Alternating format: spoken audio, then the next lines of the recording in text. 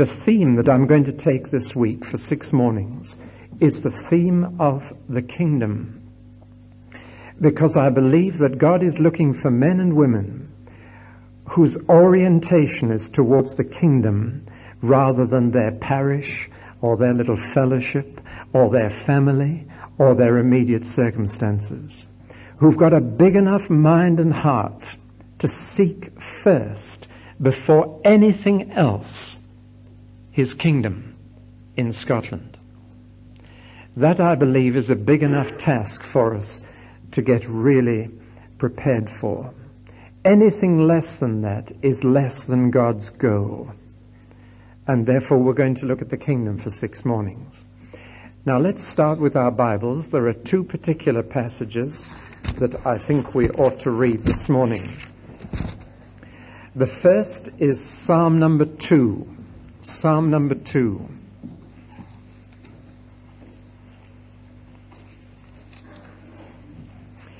This morning, I believe we've got to get things into perspective and see things God's way rather than ours.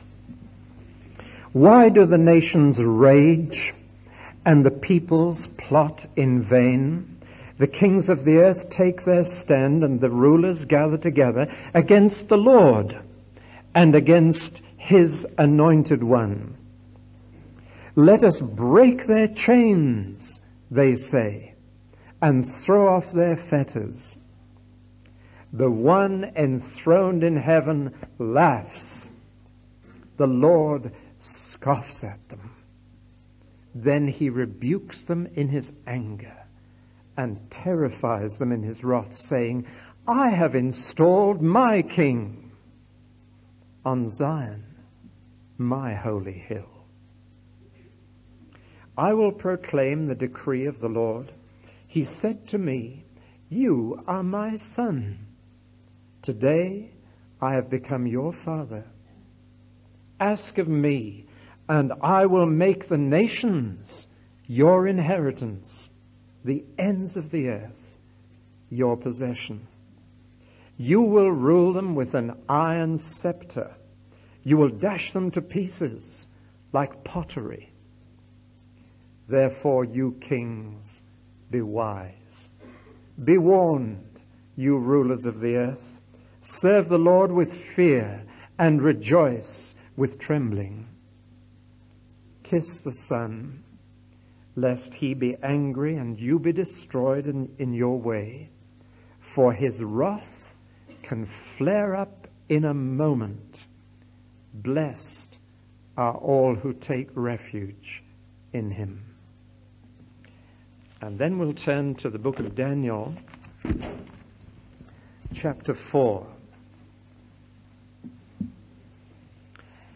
It's one of the true stories in the Bible that always leaves me trembling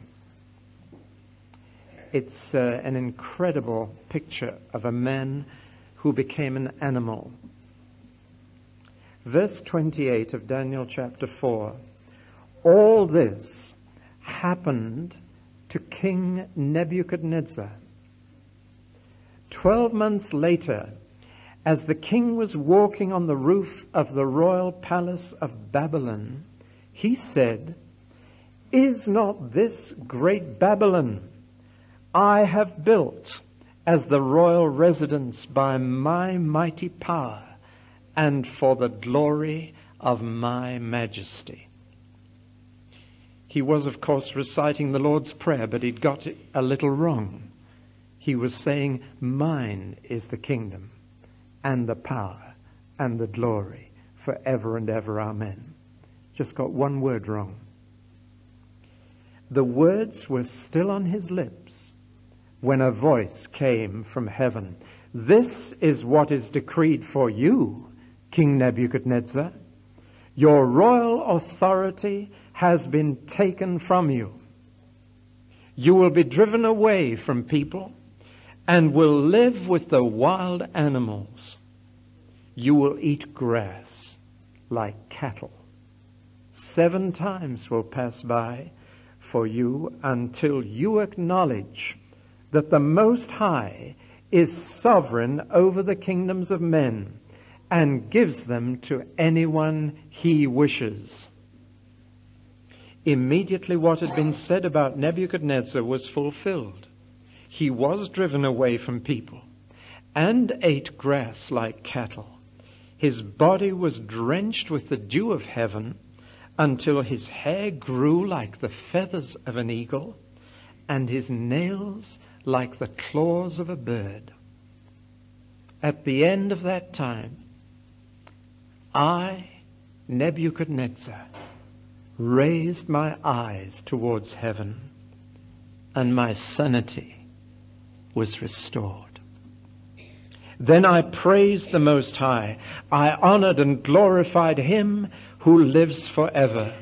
His dominion is an eternal dominion. His kingdom endures from generation to generation. All the peoples of the earth are regarded as nothing.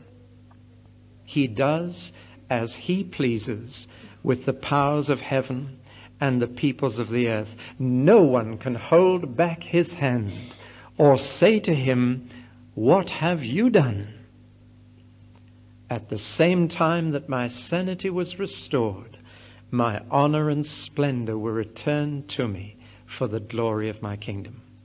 My advisers and nobles sought me out, and I was restored to the throne, became even greater than before. Now I, Nebuchadnezzar, praise and exalt and glorify the King of heaven, because everything he does is right and all his ways are just. And those who walk in pride, he is able to humble. Just one other verse in the first book of Chronicles, chapter 29, the last chapter in the first book. And verse 11, which gets the words right. We'll start at verse 10. David praised the Lord in the presence of the whole assembly, saying, Praise be to you, O Lord, God of our father Israel, from everlasting to everlasting. Yours, O Lord, is the greatness and the power and the glory and the majesty and the splendor, for everything in heaven and earth is yours.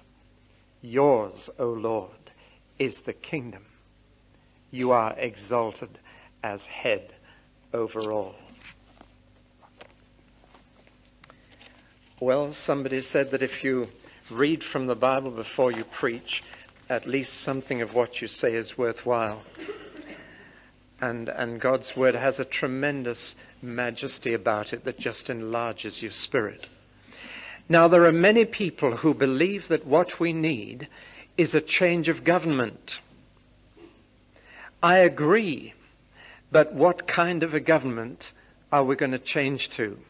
Most people, when they talk about a change of government, they either mean a change of party, or a change of policy, or a change of leader, or even a change of system. And there are those who would dearly love to bring in proportional representation into British politics, especially the SDP alliance, who always seem to come second. Nevertheless, that's not what I'm talking about. I believe that Jesus' message was that the basic need of this world, which includes Scotland, is a change of government. And that's what I'm going to talk about all this week. But Jesus never used the word government. He used the word kingdom rather than government. And I just want to say to Scotland, God wants Scotland to become a kingdom again. I'm not here to advocate the cause of Scottish nationalism. I'm here to plead for a change of government to a kingdom.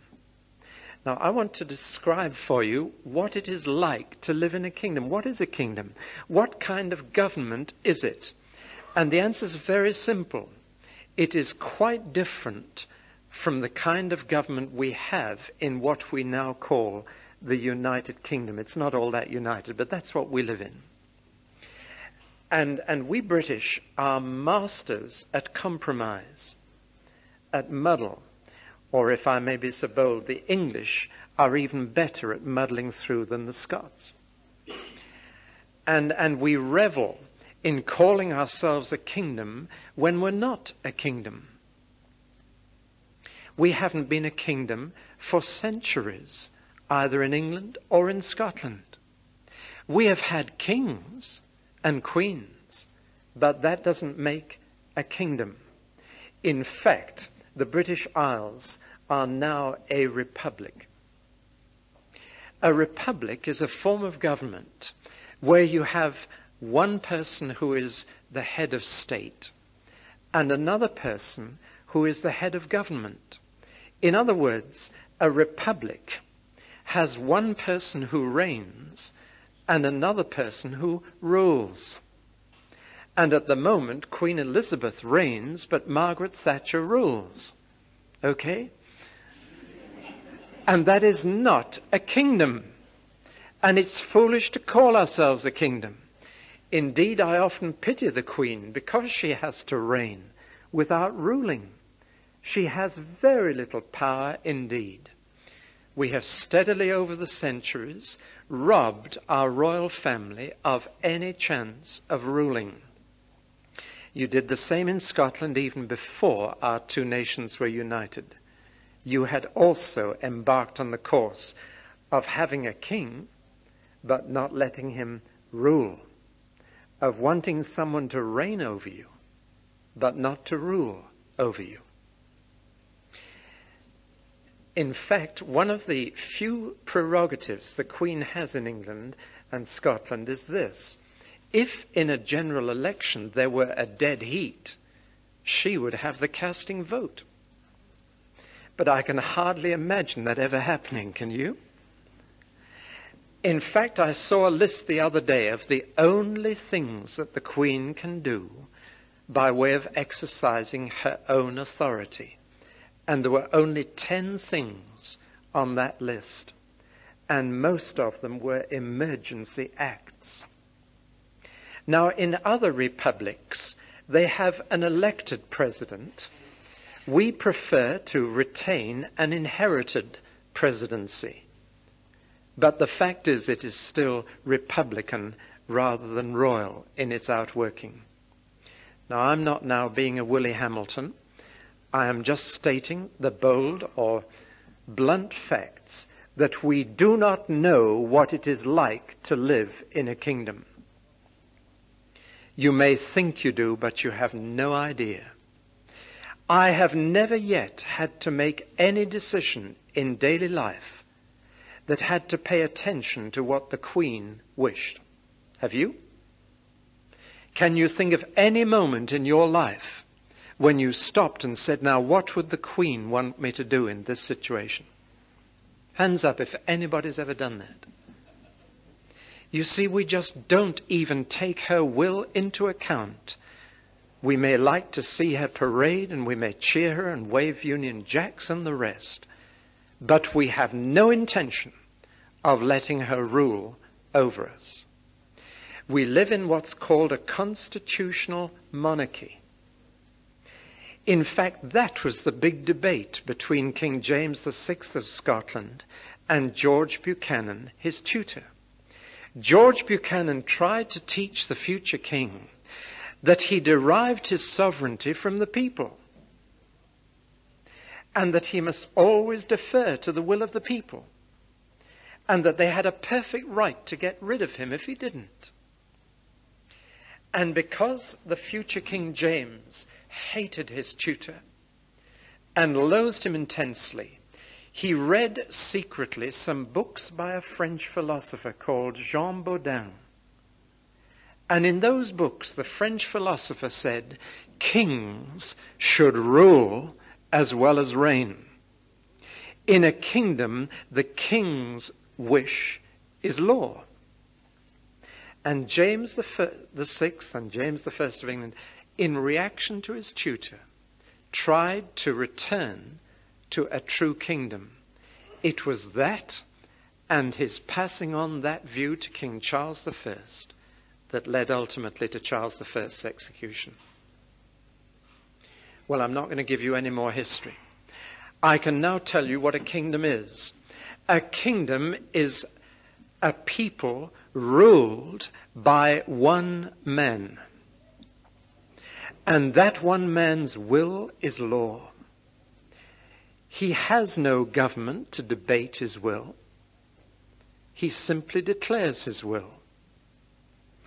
And he has that job of reigning and ruling by inheritance. He is king because he was the son of a father who was also king. He has no cabinet, and certainly there is no opposition. He is not put into that position by a vote, nor can he be voted out of that position. That is a kingdom. And these British Isles are not a kingdom. King or Prince Charles may become, become King Charles III, but he will reign without ruling. And the concept of kingship throughout the Bible from cover to cover is that the king rules as well as reigns. Now, I have a question to ask you, which I believe is from the Lord and which is the burden of my heart for this week.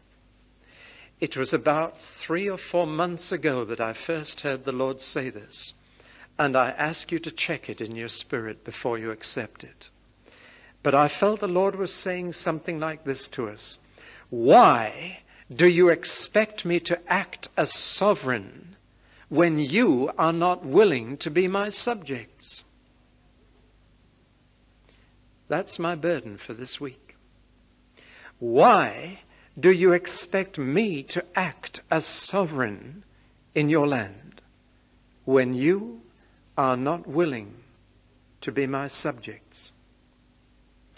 It is one of the failings of human nature when it has not experienced a kingdom to desire sovereignty without becoming subject. In all the discussions before the general election, I heard many people discussing what the future government should do for us. I never heard anybody discuss what we should do for the future government. Is that true for you also? I never heard a discussion of the responsibility of citizens towards the government. I never heard a discussion as to how we could get together and finance what we wanted the government to do. We left that to them also. The only things that were discussed before the election were we want a government that will act sovereignly and reduce unemployment and reduce inflation and take away nuclear arms and give us a nice, comfortable, easy, happy life. That's all I heard. I never heard one discussion about what it would cost to be subject to that government. And so we want a government that will do things for us, but we do not want to discuss what we might have to do for the government. In the same way, people who have been accustomed to this kind of thinking Christians allow the spirit of the world to creep over into their thinking. And it is part of our failing that we want to, God to act sovereignly in our land, and we pray for Him to do so, but we do not discuss the other side of the kingdom, which is how to be subject to the rule of the king. Let me tell you what I mean. In the early days of the spiritual renewal for which we all praise God, I sensed there were many people who were seeking to have God's sovereignty exercised over them in the sense of healing their diseases, taking away their depressions, giving them answers to the problems for which they sought guidance. But there were very few asking the Spirit to tell them how to be subject to the kingly rule of Jesus Christ. Announce a healing meeting and you could guarantee a large attendance. But you see, our bodies are to be the temples of the Holy Spirit. And that means this, that God was looking not just for bodies to heal, but for bodies he could rule. And if your body is ruled by the King of Heaven, then that's an end to gluttony. That's an end to drunkenness. That's an end to sex outside marriage and a whole lot of other things. Do you hear what I'm saying? There were thousands who wanted God to exercise sovereignty over their disease, but not so many who wanted God to exercise sovereignty over their bodies. I trust you're hearing my burden. Because the kingdom of heaven belongs to those who are subject. And those who are concerned with the kingdom will not just be praying for God to exercise his sovereignty, whether in healing or other release or in revival, but will be seeking to bring Scotland into subjection to his will. And in his subjection, there's perfect freedom. You see, every kingdom is made up of two parts. Every kingdom has a sovereign on the one hand, but a kingdom is incomplete if it just has a sovereign. A kingdom is complete when the sovereign has subjects who willingly accept his leadership. Let me rush straight through to another conclusion. One of the most frequent questions I get asked these days is this Shall I stay in my church or not? How many of you have at least considered that question? Could I see? Be honest. So, a good number of you have been asking that question. Do you want to know my answer to it? Do you want to know whether I'm a come outer or a stay in it? you're going to be disappointed. I don't know how many letters I've received, how many people have asked me verbally, should I stay in or come out? My answer is very simple. You obey the king. That's all. If the king tells you to come out, you come out. If the king tells you to stay in, you stay in. That's your sole concern if you want to be a subject of the king. And it seems to me that he's telling some people to stay in and some people to come out. And it's quite wrong for either group to tell the other what they should be doing. What we should be encouraging each other to do is to obey the king. Not to weigh up the pros and cons, not to consider the consequences, but to say, Lord, you are king. And I tell you that God is looking for subjects in Scotland. He's not just looking for those who will say, God, will you act sovereignly in our land? Will you sweep through with revival? Will you take over? Will you smash this? Will you deal with that? Will you clear up disorder? Will you deal with violence? Oh, how much we want God to act as sovereign. And he says, but I am looking for subjects. It was the Lord's own problem on a later morning. We shall look at the kingdom of heaven in the life of Jesus. And I can sum up his problem in one sentence. The people wanted a sovereign, but Jesus was looking for subjects, and he couldn't find them. That was the crisis. They wanted a king who'd release them, who'd deliver them, who'd feed them, who'd look after them, be a kind of mini welfare state all in himself. But when he spelled out what it was to be a subject of the kingdom, and he spelled it out in detail in the Sermon on the Mount, as we shall see. He couldn't find anyone who was willing to be subject. Now that's my burden for this week. Forgive me if I'm making a wrong assumption. You may already be a true subject of the King. I wonder if you came here hoping that God would act sovereignly in some situation in your life in some family situation, in some health situation? Well, he may well do. I marvel as I marvel at Jesus that he was willing to cleanse lepers who didn't even come back to say thank you. Nevertheless, I believe God this week is looking for subjects. Then he can exercise his sovereignty in Scotland. It is not that he is helpless without subjects, but there is a sense in which he is incomplete without them. And the church completes his fullness on earth in that sense. So my burden is to combine sovereignty and subjection. Even the word subjection is anathema to us. We don't like to be considered as subjects, subject to another's will. Now, how would you like to live in a kingdom? Would you welcome it or not? My answer is that would entirely depend on the king. If he was a good king, I would welcome it. If he was a bad king, I'd hate it. And as I read Scottish history, and I've read it again this week before coming, as I read the history of Israel, everything depended on whether there was a good king or a bad king. And I can define them. A good king is someone who is first of all concerned about his subjects, who is concerned about their welfare, their protection, their well-being.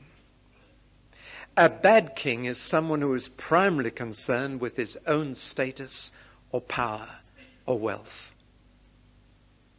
And you can find history is strewn with good kings and bad kings.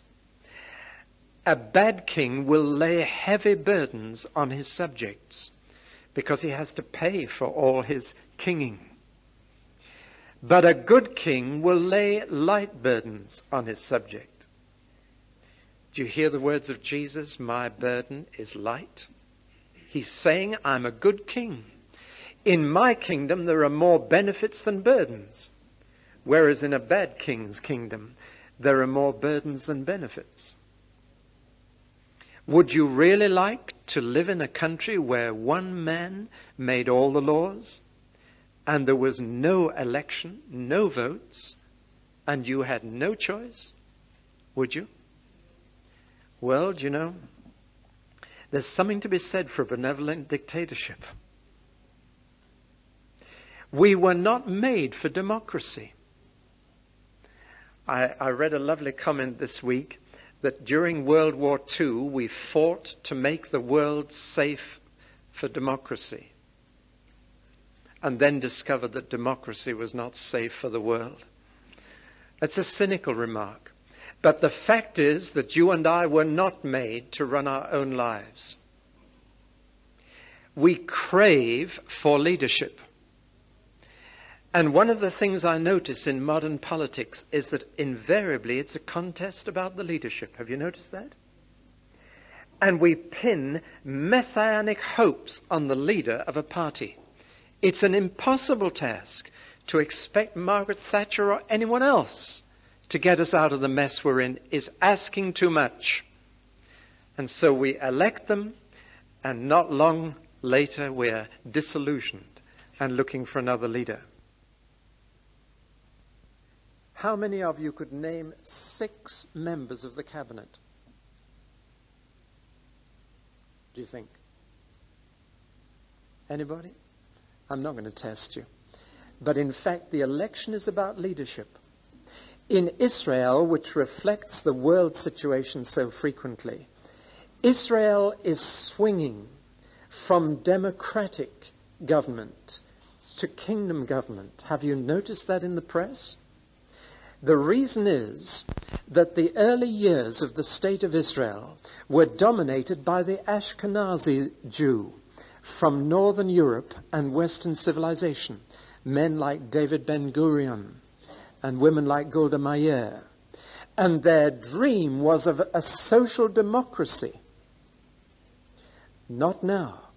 If you go to Israel now, you'll find their dream is of a strong king And the Sephardic Jew from the Orient now has the major vote in Israel. And the Sephardic Jew never lived in democracy. Most of them lived in kingdoms. And now, when they cheer Begin, as they did during the Lebanese crisis, when half a million Jewish people filled the squares of Tel Aviv, they were shouting, King Begin, King Begin, King Begin. I shall be in Jerusalem in September for the Feast of Tabernacles. One of the things I want to say is you are right to look for a king rather than a democratic government. But Begin's the wrong man. But I see God preparing the world for kingship again. Since 1914, 24 crowned heads of Europe have fallen. Kings have been disappearing like ninepins. We're one of the very few countries left that still has a notional royal family around. And yet, as the world swung away from royalty to republicanism, I detect now a swing back. People are looking again for authority. People are looking again for leadership. And people are looking again for a king. They may not use that word, but that's what deep in their hearts they're looking for. And the reason is they were made for it. I've got another book here, which uh, I've just reread with interest. It's the story of Saudi Arabia, and it's called The Kingdom. And when I read that book, I find it's much, much nearer the Bible than any book on the history of England or Scotland. They are still a kingdom in Saudi Arabia. My wife and I lived for two and a half years in the Arabian Peninsula, and we had some first hand contact with this kingdom and the people of it. It's a kingdom. There has been no general election in that place. There is no opposition. It is ruled by one family, and that rule is passed on from father to son. But some of you may remember that they had a crisis. King Saud, who was the son of Abdul Aziz, the first son to reign in his father's place, was, as you know from your history, and some of you are old enough to remember it, he was a bad king. And so finally they came and proposed to King Saud. All the other princes of the royal family came and said, King Saud, we want to propose that Saudi Arabia becomes a constitutional monarchy. You may continue to reign, but not to rule. We will rule. And I'm fascinated with King Saud's response. He said, I am not Queen Elizabeth. that was his response. In anger, he said, I refuse to reign, but not rule. It was not in the Arabian tradition for rulers to wear the appearance of power without its substance. Kings were kings or nothing. How could Saud feel self respect?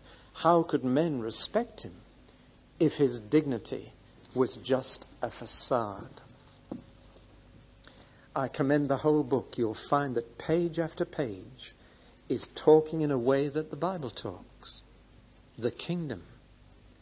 Arabs know what it is to live in a kingdom. And though they are kept from entering the kingdom of heaven by the demonic religion of Islam, Nevertheless, they understand what is meant when you talk to them about the kingdom of God. So let me come right down to brass tacks. We have been so accustomed to regarding God as Father that we have overlooked the fact that He is King. Whenever a Jew begins his meal, he gives thanks to God and he calls him one thing he says, King of the universe. And then he thanks him. Now, during the rest of this week, I want to speak first and for the rest of this morning about the kingdom of God, the eternal kingdom of God. Then I want to talk about the kingdom of Satan. And until you realize that Scotland is part of the kingdom of Satan, you will not see what the warfare really is. That your nice neighbors are in fact citizens of another kingdom, as you once were. You won't understand the true situation. Then I'm going to speak about the kingdom of Israel, which gives us a glimpse of the patterns of government which he wants us to live under. Then I'm going to speak about the kingdom of our Lord Jesus Christ, then I'm going to speak about the kingdom that is mediated to us through the Holy Spirit. It's interesting that only those who have rediscovered the Holy Spirit have rediscovered the kingdom. Have you noticed that? And finally, I'm going to talk about the kingdom of the Father, which is where it will all end. So that's what we hope to get through in five mornings. How's the time going, Jimmy? How are we? All right? Let's start this morning with the kingdom of God. That was introduction so far. Uh, I'm sorry if I'm traveling a bit more slowly than I usually do, but um, there are physical reasons for that. The word God means someone who was always there and someone who is in total charge. And in many languages, languages of the world, the word God and the word king are the same word. Don't know if you realize that. There's a word in the Middle East, for example, Melech, which means both king and God. And in the ancient world, there was no question that to say God was to say king. The thought of a God who didn't rule as well as reign was anathema. Yet I believe that one of our biggest problems in these islands today is a view of God that has turned him into a constitutional monarch. Do you read my heart in that? Do you know what I mean by that? That God is treated like Queen Elizabeth is treated. Not taken into account in daily life, not considered as actually in charge, not in control. And uh, I want to spend the rest this morning about this. The Bible opens with God as King. You've got to read a long way through the Bible before you find God as Father. You've got to read even further into the Bible before you read that God is love. But the Bible begins with a picture of God as King sitting on a throne, issuing commands which are instantaneously and universally obeyed. I have just made a series of 10 videotapes. This is the commercial, by the way. But I've just made 10 videotapes especially for home group listening. Audio tapes are fine for listening as individuals, but in groups you don't know where to look, do you? So I've made videotapes on the first three chapters of Genesis. Just ten tapes that uh, are a series of talks for Christians and their non Christian neighbors to come in and watch. And so I just commend those to you. But the more I looked into the first three chapters, the more I realized that that's where the battle still is. Genesis 1 has ten commandments in it. The first Ten Commandments in the Bible are all in the first chapter. And they were obeyed. Every one.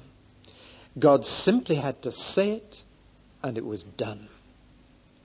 You have a picture in Genesis 1 and 2 of an entire universe subject to the sovereignty of God.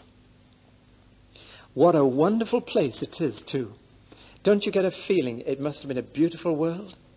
What a place to live in. Everything so good, so beautiful. No disease, no death, no war, no famine. Enough for every animal and every man to eat. A place that was not only useful but beautiful. I love the way that God realized that human beings didn't just need cabbages, they needed pansies and tulips. That we need beauty as well as usefulness, and so He didn't put us in an allotment, but in a garden. He put the wild animals out in the field, but for man, He planted a garden because we would appreciate beauty. Everything was beautiful, paradise. If only the world had stayed that way. And the reason it was that way was that God was king. When he said, Let there be light, there it was. He was sovereign. And everything was subject to his sovereignty. And that's sheer heaven on earth. When we read the story of creation to our little girl once, she just sat back at the end and she just said, No sooner said than done, wasn't it? what a beautiful response. It's a perfect analysis. God said, Let the dry land appear. There it was. He just had to issue a command, and it was obeyed. My wife and I, for the first time in our married life, have a home that's our own. And uh, it's a lovely place. We've got the most beautiful garden. We asked the Lord for a garden that wouldn't require any looking after because we travel such a lot. And He's given us the most beautiful garden that requires no digging, no weeding, nothing. Can you guess what it is? It's all water. It's a pond about the size of this hall surrounded by trees, and our little house sits on the edge of it. And we have a number of ducks and moorhens and a couple of kingfishers, a few white doves. It's a beautiful little spot. And uh, the whole pond is a, a spring of living water, so it never needs weeding or never goes stagnant. It's just beautiful. We've called the house Living Waters for obvious reasons. No, still waters, I mean, still waters. But as I sit in my study and look out on this beautiful scene, I think, why is it beautiful? The answer is because everything I can see is subject to God. That's all. Then I turn on the television and listen to the news, or I read the newspaper, and it seems as if nothing is subject to God. And it's ugly. It's horrible. those clouds in the sky, those hills, they have to obey God. They have no choice. And one of the reasons the surroundings we have here are good for our souls is that you're looking at things that are subject to God. His sovereignty is all around you. Now, there are those, many people, who believe that God may have created all this, but He no longer controls it. I want to give you two philosophical terms now. Do you mind two minutes philosophy lesson? I am your tutor for this morning. Deism and theism. And the greatest enemy of God in this land is not atheism, it is deism. So I better explain what I mean. Deism believes that God created all things, but no longer controls them. He made this universe like a watch, wound it up, and now it operates according to its own laws. My wife's brother is a meteorologist. Some of you may have seen him on the TV telling us what's coming next. I've had many discussions with him. I had a discussion with him just 24 hours ago, was it? And you know, he's dealing with weather all the time, but he can't see God's hand in it. He's a Methodist lay preacher, but he can't see that God is in control. He's examining meteorological laws, quote, all the time. I once showed him the incredible parallel between the history of Israel and the rainfall of Israel. And I got the figures, in fact, he got them for me. The figures for the rain on Israel for the last 150 years. And you can actually plot the political history of Israel from the rainfall chart. It's extraordinary. Every time there was an aliyah, uh, a new wave of immigration of Jews to Israel, the rainfall went up. And it reached the all-time record for a century in the spring of 1948. Now, I could say more about this, but here was the graph of the rainfall of Israel. And you could label each hump in it with a major political event, some new immigration or the establishment of the state or something. Now, to a Jew, that is no problem at all. In fact, when the first Aliyah, the first wave of immigration between 1872 and 1875 took place, the rain fell as it had not fallen for centuries, and the rabbis fell on the ground and praised the King of the universe because he'd restored the rain. But how many people today really believe in this country that God is in total control of the weather? I'm almost bold enough to say that every time you complain about the weather, you become a deist. Do you follow me? You're saying God isn't in control. Or if you think He is, you're saying you don't like the way He's running things. Now, the big question is whether we're deist or theist. The vast majority of people in this country believe in God, but they are deist. They're not theist. The important question is not, do you believe in God, but what kind of a God do you believe in? Do you believe in the living God or not? Now, let me tell you a story some of you may have heard me say. Some time ago, Thames Television rang me up and said, Would you come and take part in a discussion on the question, Does God answer prayer by performing miracles today? Well, you couldn't keep me away from a, a discussion like that. So my wife and I got in the car, went to Teddington Studios, and we went into the reception room for uh, appearing for guests appearing on the show, and we were introduced, horror of horrors, to about 20 people, all of whom were going to take part in a 25-minute discussion. I thought there were going to be three or four of us but 20 of us for a 25 minute discussion. You do a quick mental arithmetic and think, I've got three quarters of a minute to speak. What can I say in three quarters of a minute? But we were introduced to the rest of the guests. There was a punk rocker held together with safety pins as far as we could see. There was a housewife. There was a teacher. There was a real live bishop. I speak physically. There was um, an ex-moderator of the Church of Scotland, whose name I wouldn't dare to say here because most of you would know it. There was an even, well-known evangelical professor who's published many books. I was relieved when the door opened and Colin Urquhart walked in and uh, felt there was somebody there with a fellow feeling. But they introduced me to a man of about 50 in a bright red shirt. He deliberately put it on to catch the camera's eye, I'm sure. And, and he was introduced as the president of the British Humanist Association. Now, we went into the studio and sat down, and Colin and I kept close together for safety, I suppose, and, and we sat in the second row of a tiered platform, and immediately in front of me was this humanist with the um, evangelical professor on one side and the bishop on the other. And we looked down, and he had by his side a pile of newspaper cuttings from the Sunday Gutter Press. Horrible stuff. The top one was about that poor girl pummeled to death by two misguided young men trying to get a demon out of her. Do you remember that?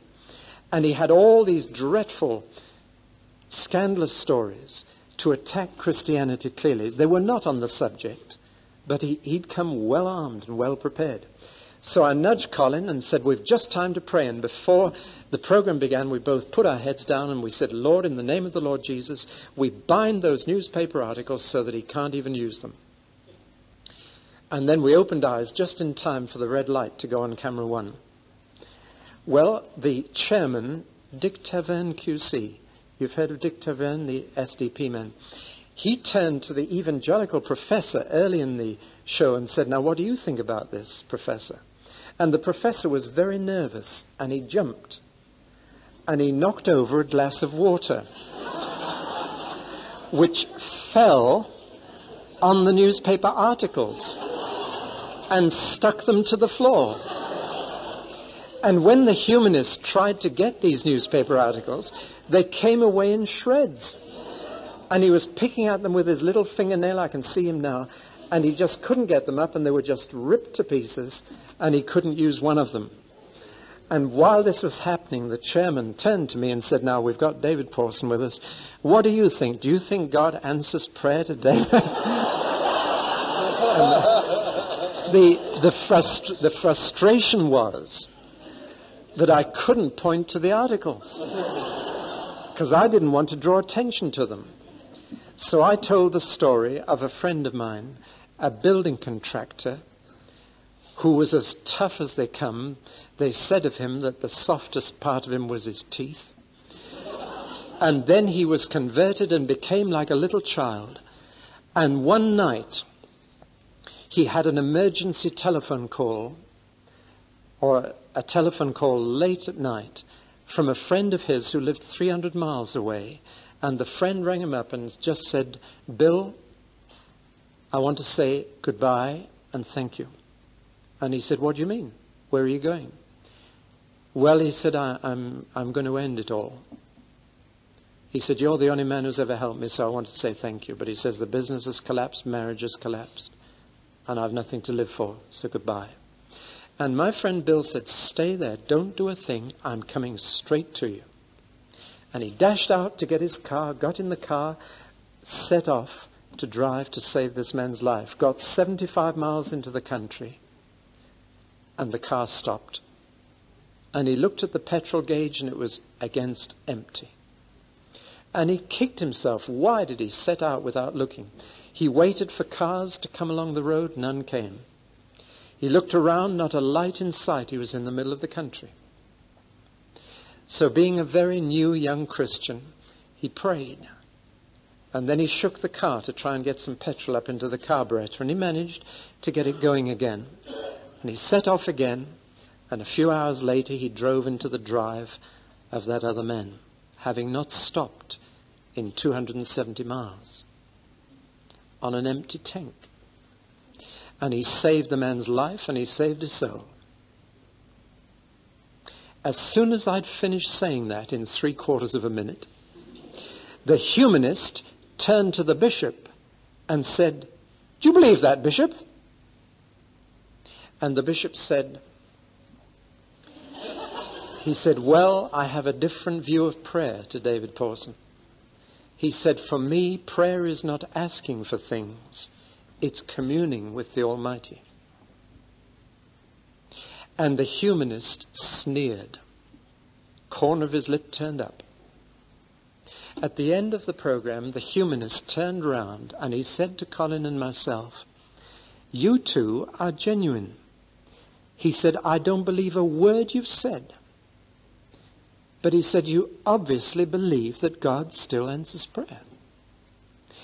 And then he pointed at the bishop and at the evangelical professor and at the ex-moderator of the Church of Scotland and said, they don't believe, do they? Now what do you say then? I think you've got to be honest with the world. And I said, no, they don't. But some of us still do. Now what had he spotted? He'd spotted that there is a division line right through the church, right through the clergy between those who believe in God and those who believe in the living God. Those who view him as Father but who not understood him as king, and those who believe he's the Father in heaven and the King of the universe, and still in charge. That is the difference between deism and theism. And if there is one thing that the renewal of the Holy Spirit has done, it has turned thousands of deists into theists. And an atheist is not an adeist. An atheist is not someone, according to the Bible, who doesn't believe in God, but someone who doesn't believe is in charge. And it's that kind of atheism that is our problem. Well, now let's go a little further. King of the universe. I'm being critical, I know, of the church. It is as one who identifies with the church and, and who wants to wake up the church. But recently I turned on a religious program. Now, usually I get angry over religious TV programs. And since the, I can't take it out of the people on the screen, I take it out of whoever's in the room. And my wife didn't appreciate me watching religious TV because I would just get very angry.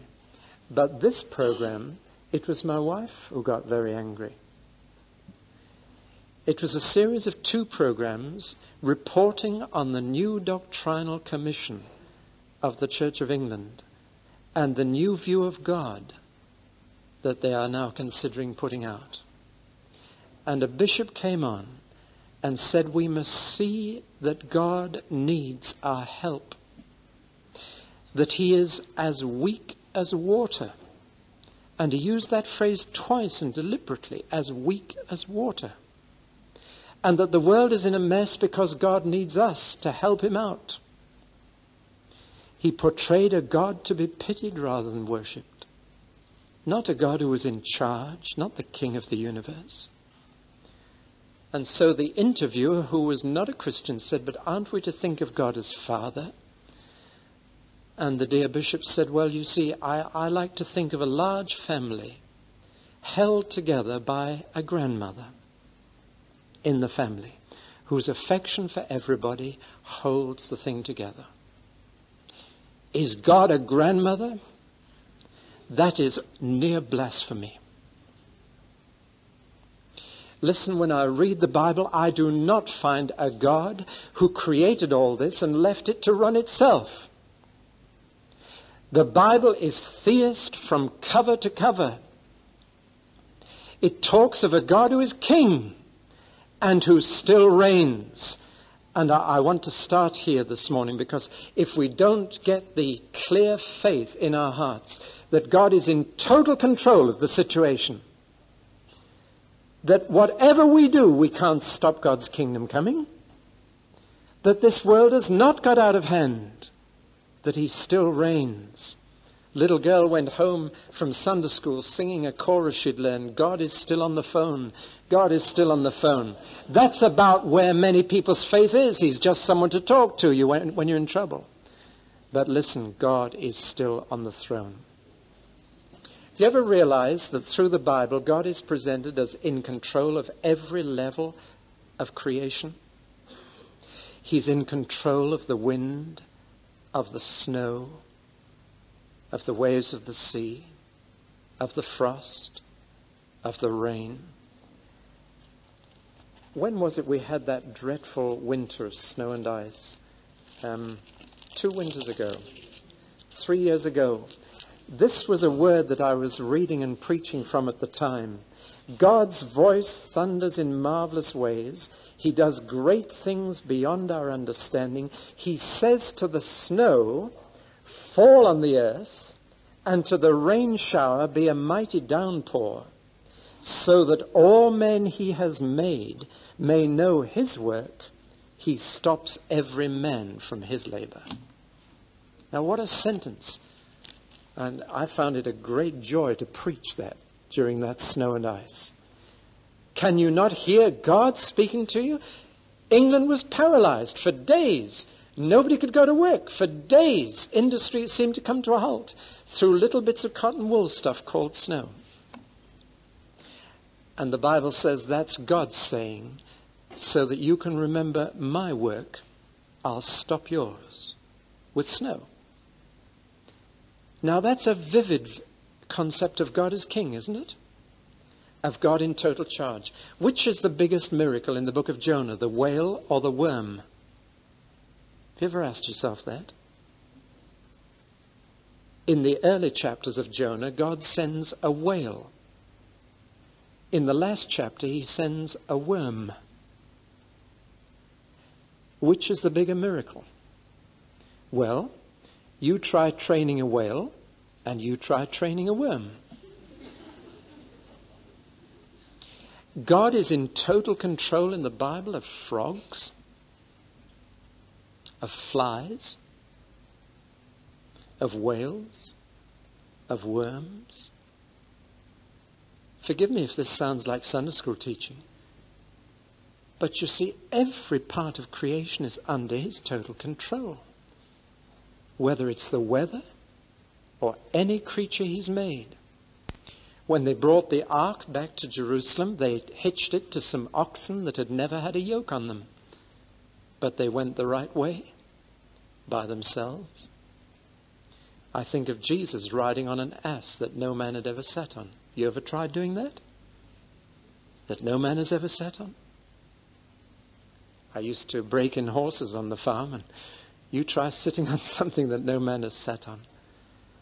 Everything under perfect control you find that God is in complete control of history as well as nature in the Bible. And that no matter how pagan or how evil a man may be, God is in total control. That's why I like that story of Nebuchadnezzar.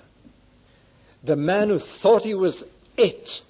Is not this great Babylon which I have built as my kingdom for my power and my glory?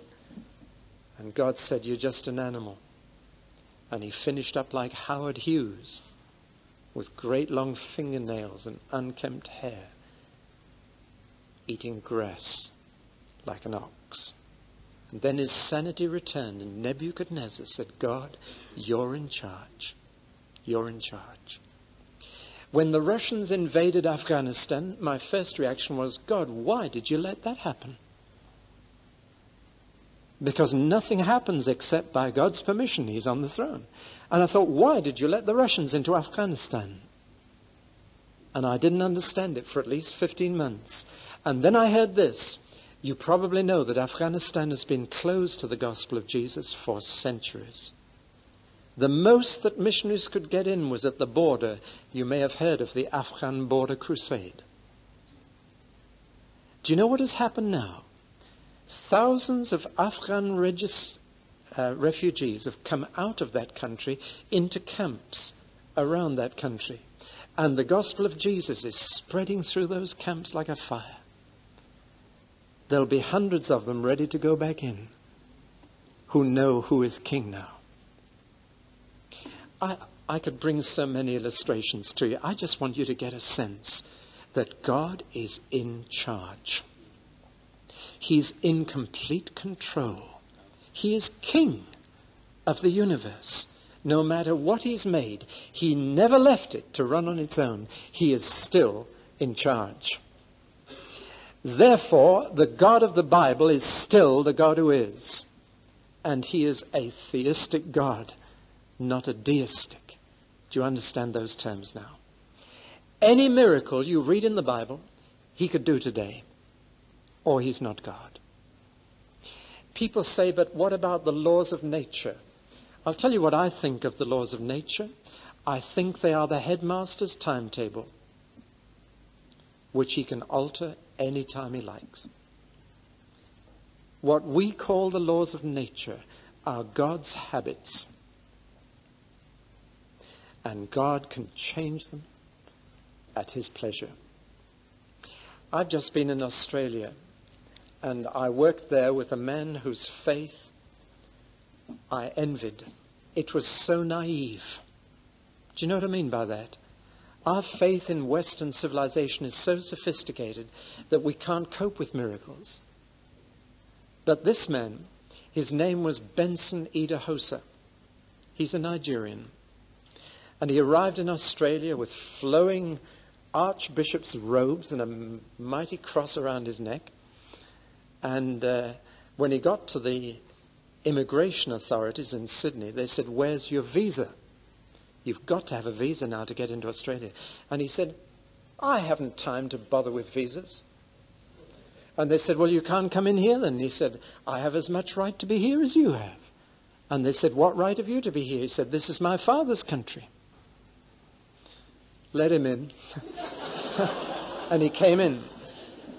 Now, that man Benson was led to the Lord by an elderly missionary when he was 23, when he didn't have a pair of shoes.